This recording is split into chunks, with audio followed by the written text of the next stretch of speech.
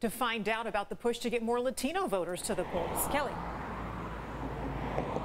Yeah, and according to community leaders, uh, one in every four voters in San Diego County is Latino. Now, even though that number is high, uh, they say voter turnout in this population is low. So today, the National City Mayor uh, urged her constituents to get out and vote. We've been disproportionately impacted by COVID 19. And we're the essential workers.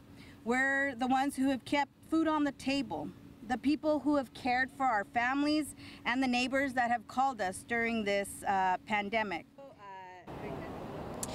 And that was National City Mayor Alejandra Sotelo Solis speaking at a news conference at Montgomery Waller Community Park today. Now, more than 800,000 voters have cast their ballots in San Diego County, uh, but she says a very small number of them are Latino. Why?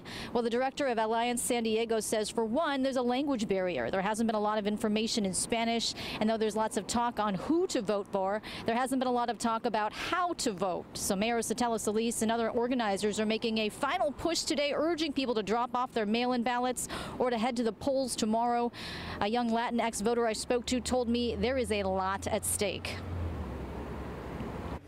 Our community is greatly affected if we want or if we want actual change and we want decisions to be made in the way that we want them to be, then we ourselves have to go out there and vote.